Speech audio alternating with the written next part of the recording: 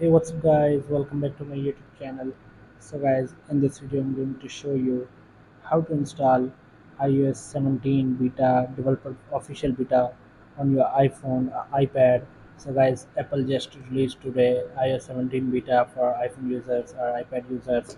So guys let's get started. This video without wasting any time.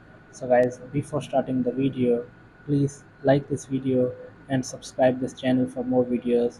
So guys first of all what you need to do so guys first of all go to settings tap on general tap on software update.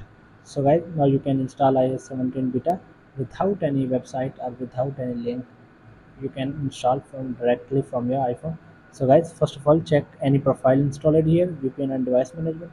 So guys if you have installed any profile here remove all the profiles from here and then go back and go to software update section so here you can see guys the update is not showing on my iphone so guys how can we get ios 17 update on your uh, iphone? So simply tap on here beta updates. So here are the betas. So if you tap on ios 17 developer beta you can see the 17 beta. And also if you want to install ios 16 beta you can install 16 beta from here so we need to install iOS 17 beta because it's new. So tap on so it's iOS 17 developer beta here. So simply tap on download and install. Enter your iPhone password.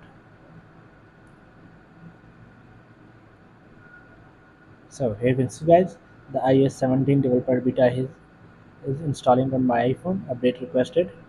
So guys here is a simple method to install iOS 17 beta. So guys thanks for watching this video please like share and subscribe. Thank you guys. See you in the next video. Thank you